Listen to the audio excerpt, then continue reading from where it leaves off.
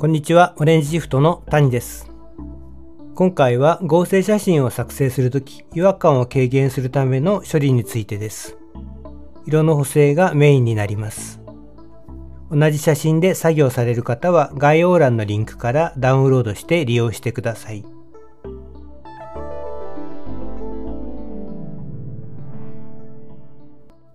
この写真の人物を切り抜いて別の写真に貼り付けます。まず人物の選択範囲を作成します。選択ブラシツールを選択します。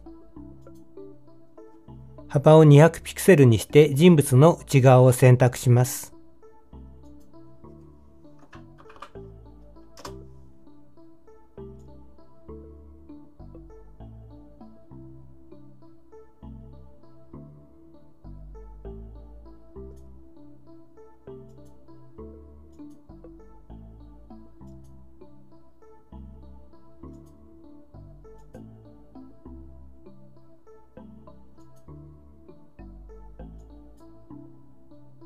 細部を修正するために画像を拡大します。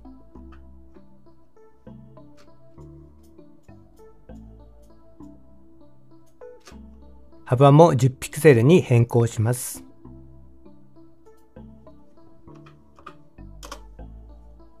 追加したい部分をクリックして追加したり、不要な部分をオルトクリックして削除していきます。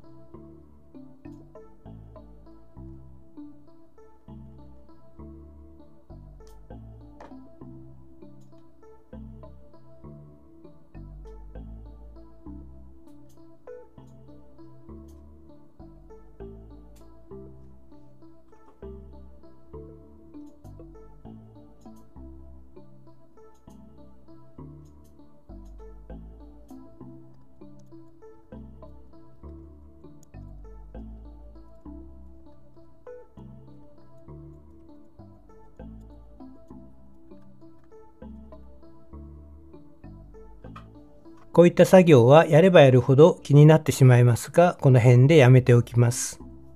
調整をクリックします。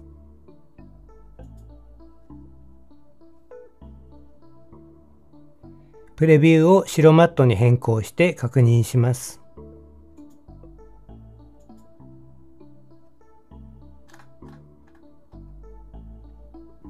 マットエッジにチェックが入っているので輪郭が滑らかになります。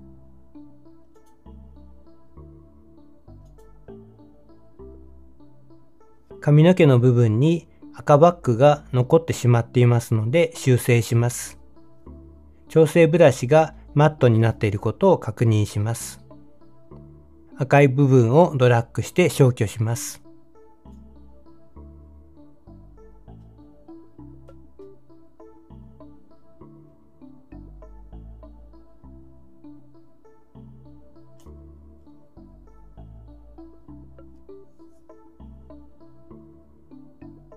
顔の輪郭部分が半透明になってしまっているところがあります。前景を選択して塗りつぶします。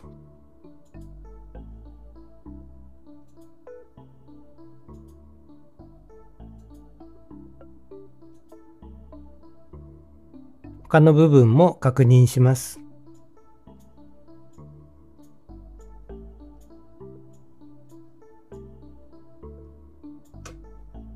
足元の部分の左側に余計な部分が選択されてしまっています。背景をクリックして解除します。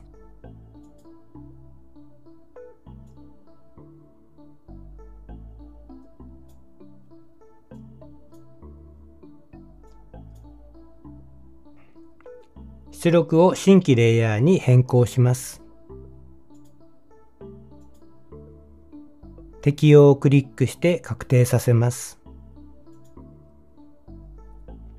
切り抜いた写真が作成できましたが、元の背景の赤がジーンズと靴に反映されてしまっているので、この部分を取り除いておきます。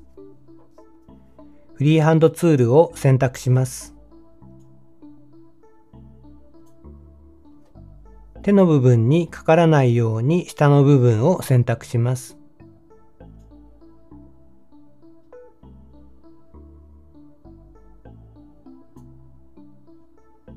レイヤーパネルの調整をクリックして HSL を選択します。ツールバーの選択解除をクリックして選択範囲を解除します。赤をクリックして選択します。サイドのシフトをマイナス100%にします。靴やジーンズの赤い部分が削除されました。しかし足首と靴のマークの部分のサイドもなくなってしまったので元に戻します。ペイントブラシツールを選択します。幅を64ピクセル、不透明度、流量、硬さは100%にします。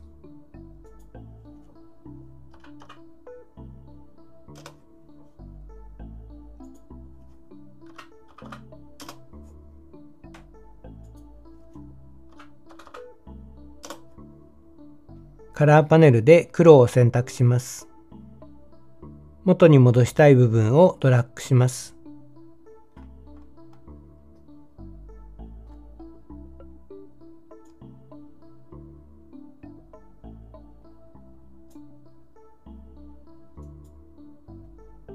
黒でドラッグすることで選択範囲で指定した部分を後から除外できます。カラーパネルで白を選択します。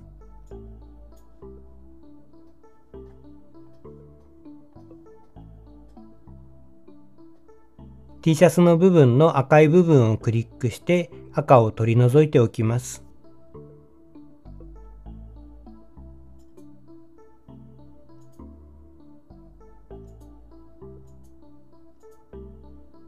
白でドラッグすることで選択しなかった部分も後から追加できます。結合をクリックして HSL での変更を画像に結合します。結合したことで1枚のレイヤーになりました。編集メニューからコピーを選択します。合成する写真に切り替えます。編集メニューから貼り付けを選択します。後から参照しやすいようにレイヤーパネルのピクセルをクリックして人物と名前を付けておきます。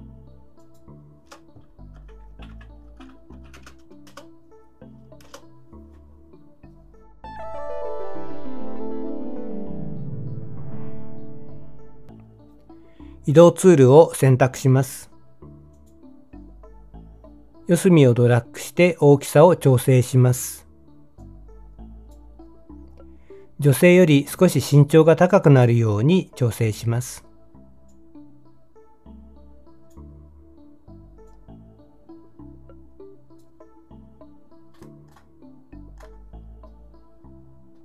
女性の写真をよく観察すると左側の部分に白いエッジがありますので、光は左斜め後ろから当たっています。そして合成した男性の写真は顔の陰形からわかるように右斜め前から光が当たっています。できれば合成した写真は同じ向きから光が当たっているのが理想です。今回は男性の写真の左右を反転して光の位置を左斜め前から当たっているように変更して利用します。重ね順メニューから左右反転を選択します。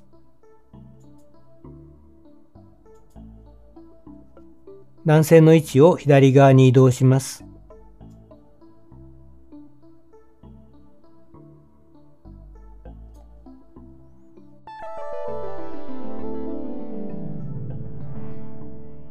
合成した写真の違和感を取り除くために写真の白い部分と黒い部分を修正します。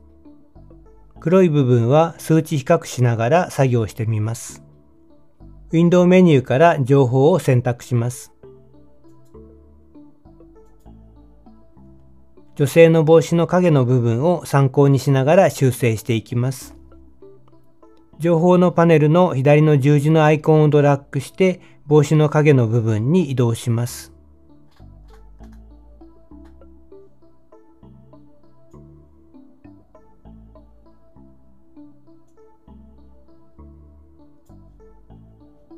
こちらの例では R24、グリーン25、ブルー30になっています。変更する黒い部分のサンプルはジャケットの影の部分にします。情報パネルの右の十字のアイコンをドラッグしてジャケットの影の部分に移動します。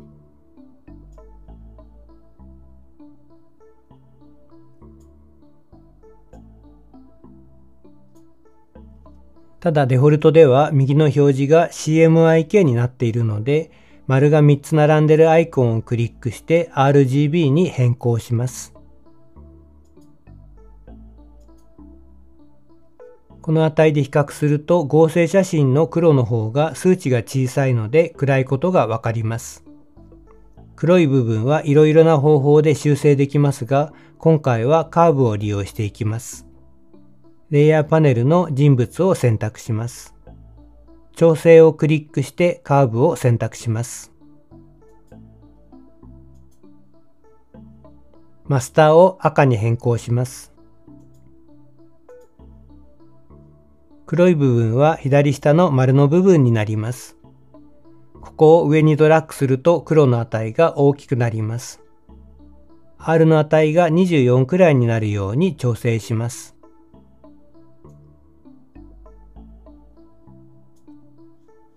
続いて赤を緑に変更します。先ほどと同じようにドラッグしても変更できますが、こちらは Y の値の上にマウスポインターを重ねてマウスのスクロールで変更してみます。マウスをスクロールすると 0.01mm 刻みで変更できます。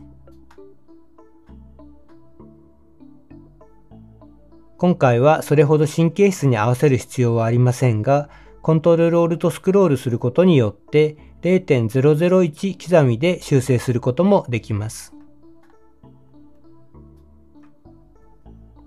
G の値を25くらいになるように調整します。緑から青に変更します。30くらいになるように調整します。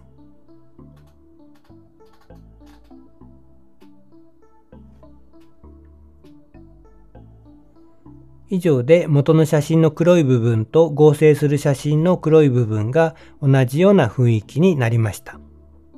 ×をクリックしてダイアログを閉じます。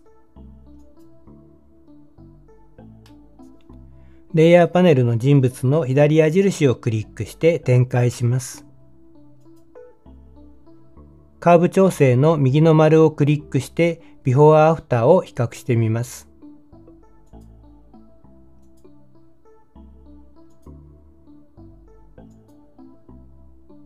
修正前より馴染んだと思います。後で何の補正をしたレイヤーかわからなくならないようにカーブ調整をクリックして黒点と名前を変更しておきます。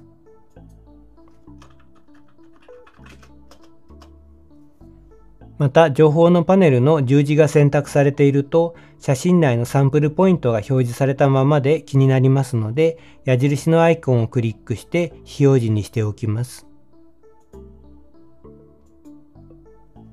白い部分はレベルの差がなさそうなので色のバランスのみ調整します。レイヤーパネルの人物をクリックします。調整をクリックしてホワイトバランスを選択します。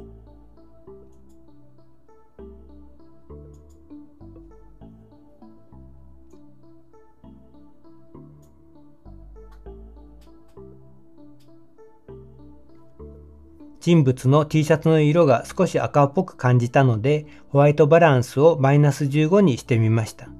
色合いはマイナス2%にしました。バツをクリックしてダイアログを閉じます。ビフォーアフターを確認します。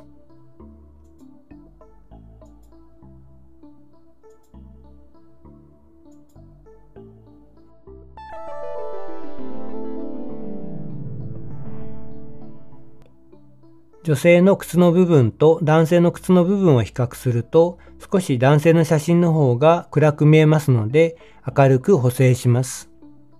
レイヤーパネルで人物を選択します。調整をクリックしてカーブを選択します。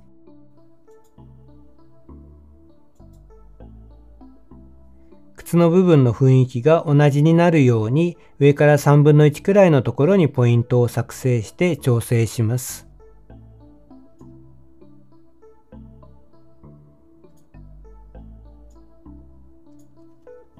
×をクリックしてダイアログを閉じます。ビフォーアフターを確認します。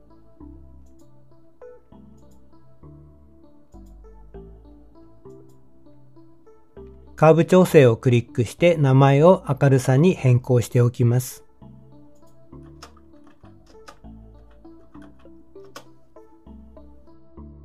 シャドウ部分を比較すると女性の写真は曇りの日の逆光で撮影されているので明るくなっています。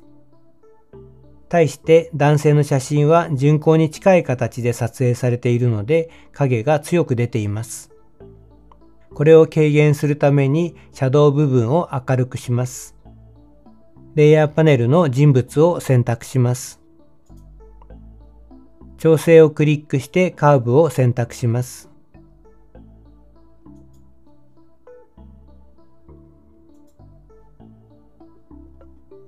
男性のジーンズの影の部分が明るくなるように調整します。ただこのままだとシャドウ部分だけではなくハイライト部分も明るくなってしまいましたのでマスクを使います。レイヤーパネルのマスクを右クリックして輝度範囲マスクを選択します。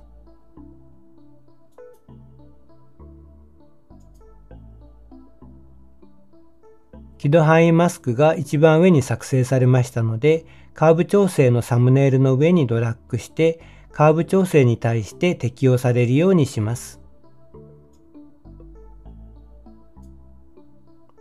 輝度範囲マスクのサムネイルをクリックします。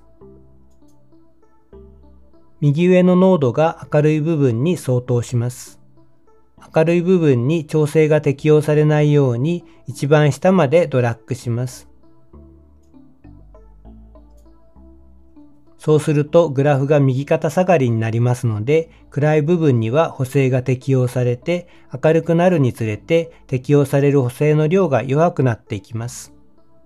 補正が適用される具合を画像で確認するためにプレビューをクリックします。人物が白黒のマスクで表示されます。黒い部分が補正が適用されない部分、白い部分が補正が適用される部分になります。より黒い部分だけに補正を適用したいので、中心付近をクリックして新しいノードを作成して下方向にドラッグします。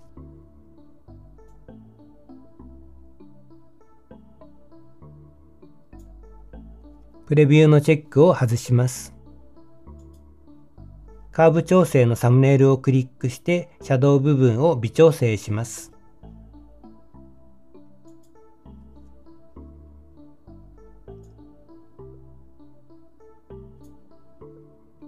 をクリックしてダイアログを閉じます。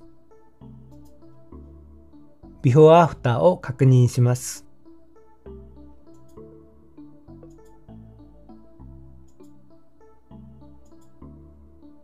カーブ調整をクリックしてシャドウと名前を変更しておきます。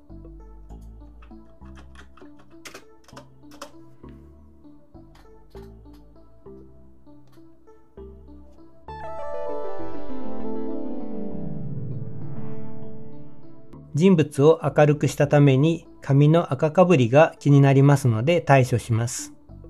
レイヤーパネルの人物を選択します。調整をクリックして HSL を選択します。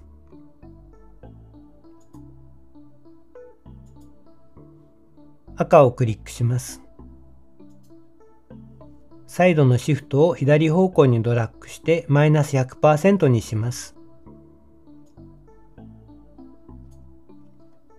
髪の毛の部分を確認すると、まだうっすら紫っぽくなっているので、その部分を修正するために赤の範囲を広げていきます。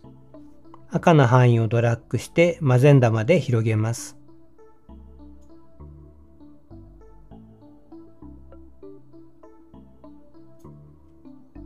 人物のすべての部分から赤の情報が削除されています。×をクリックしてダイアログを閉じます。レイヤーメニューから反転を選択します。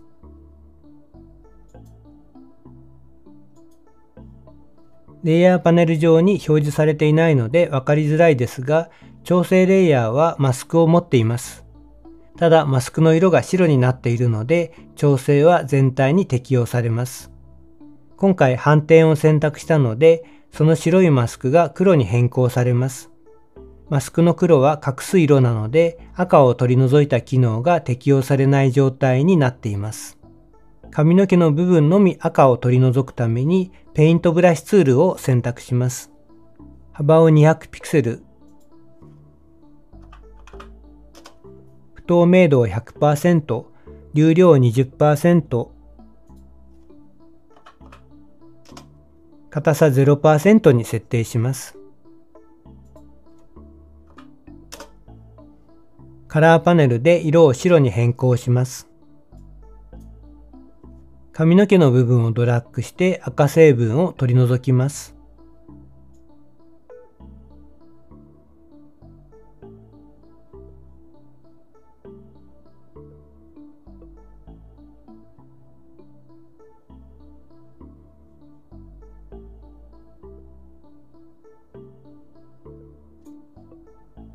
顔の影の部分も赤成分が少し強くて気になりますので軽減しておきます。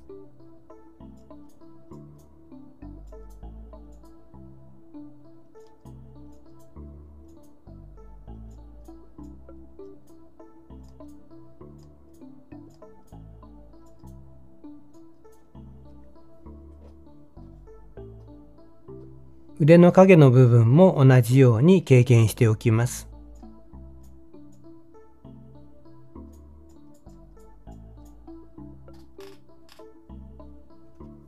ビフォーアフターを確認します。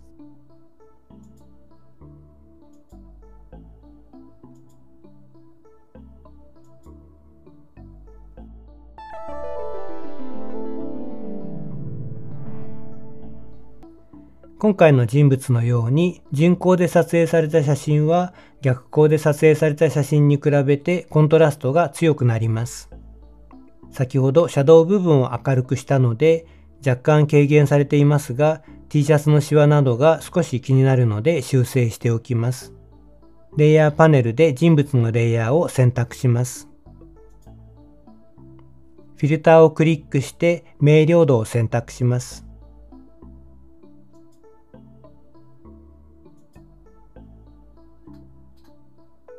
強度のスライダーをマイナス100%にします。をクリックしてダイアログを閉じます。これでいいように思いますが、効果をわかりやすくするために、コントロール J を2回押して2つ複製します。ビフォーアフターを確認します。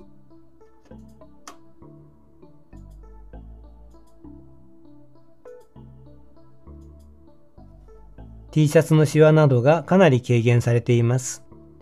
でもちょっとやりすぎだと思うので、明瞭度を一つ選択してデリートキーで削除しておきます。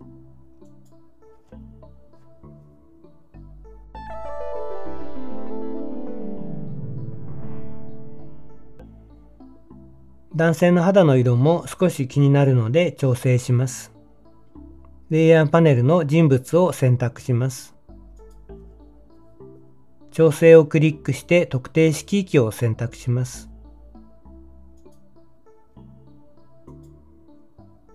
赤が選択されていることを確認します。好みでマゼンダと黄色のスライダーを調整して肌色を変更します。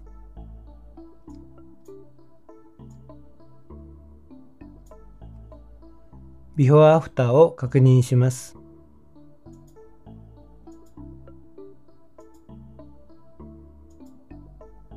×をクリックしてダイアログを閉じます。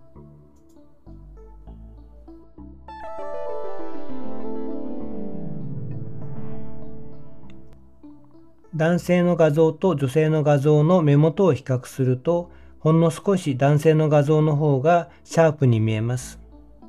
女性の画像に少しだけシャープを追加します。レイヤーパネルの背景をクリックして選択します。フィルターをクリックしてアンシャープマスクを選択します。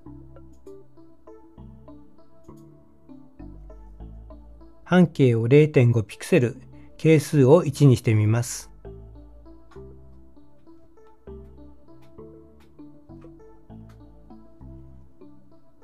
ビフォーアフターを確認します。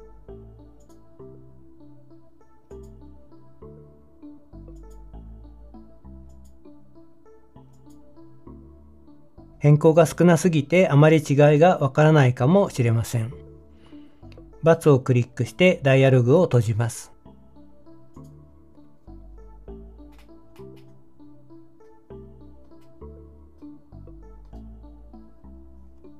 こういった作業は修正すれば修正するほどより細かい部分が気になってしまいますが、今回は以上で切り上げさせていただきます。全体のビフォーアフターを確認します。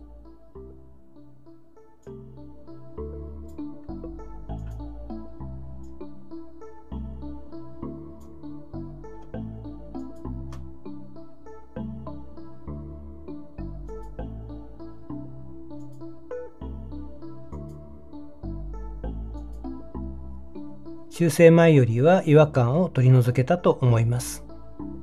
最後までご視聴いただきありがとうございます。それではまた。